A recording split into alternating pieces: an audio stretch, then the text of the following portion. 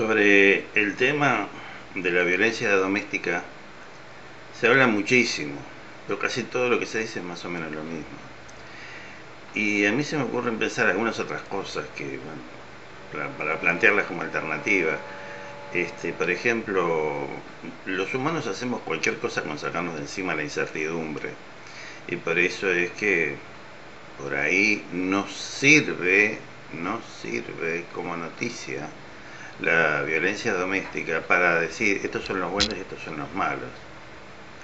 Digo, reconozco que es medio retorcido el pensamiento, pero los humanos somos un poquito así. Otra cosa que podemos este, hacer, digamos, tomar decisiones totalmente alocadas es para ser amados. Nosotros necesitamos ser muy amados, incondicionalmente amados. Y esto generalmente se logra tan poco como tener certeza. La incertidumbre y el amor son dos cosas que andan ahí, generalmente escasean.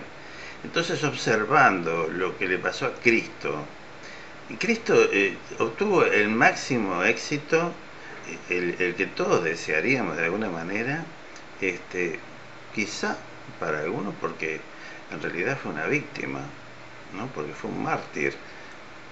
Y en la cabeza de muchas personas puede existir la lógica de decir, bueno, si, si esta persona fue tan terriblemente castigada, luego no solamente resucitó, sino que su nombre quedó para la posteridad, fundó una iglesia. Bueno, yo voy a tratar de hacer algo inconscientemente, por supuesto, nadie creo que, que se, se haga un, un, estilo de vida como el de Cristo a propósito, pero digo, miren que el inconsciente funciona. Entonces, digo, por ahí la necesidad que tenemos todos de ser amados podría llegar a hacernos buscar desesperadamente ser víctimas, como Cristo. Entonces digo, por ahí una persona se expone a la violencia doméstica, que ya doméstica de por sí, vieron que es una palabra muy, muy livianita, ¿no? O sea, animales domésticos, aquellos que no son salvajes, la vida doméstica. Parecería ser que la violencia doméstica es light, como descafeinada.